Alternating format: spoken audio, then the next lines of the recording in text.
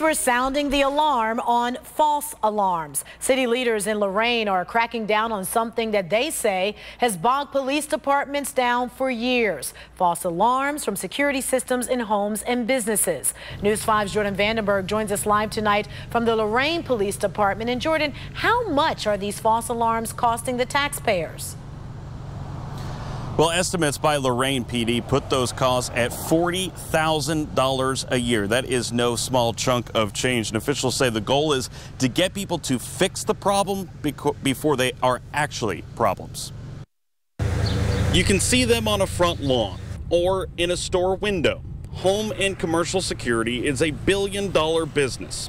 But let us not forget it's police departments with limited budgets who respond. Every time we respond to alarm. That's a car putting on lights and sirens, driving through traffic. There's always a risk the officer getting hit, you know, or something else happening to respond to alarm where someone just forgot to set it or left a window open. Police say records show that happens an overwhelming majority of the time. Lorain PD receives about 2,400 alarm calls per year.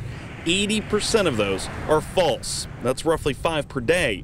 And Lieutenant Michael Failing says most of those are preventable. User error. A lot of it's user error. With policy requiring two officers to respond to alarm calls and it taking 17 minutes on average to respond and clear the scene, false alarms drain the department of an average of 1,100 man hours a year, totaling more than $40,000. Not only does it prevent them from doing proactive stuff, it also prevents the citizen who's sitting at home waiting for a police officer to come take their theft report.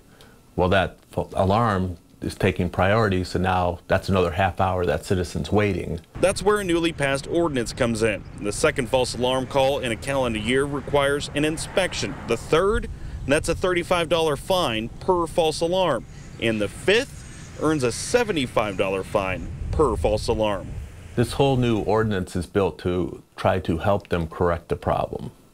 Um, so yes, there are fines if you go over a certain number, but prior to that, you know, there's, you know, several places and built into the ordinance where, you know, why is this alarm going off? Can we help you correct this?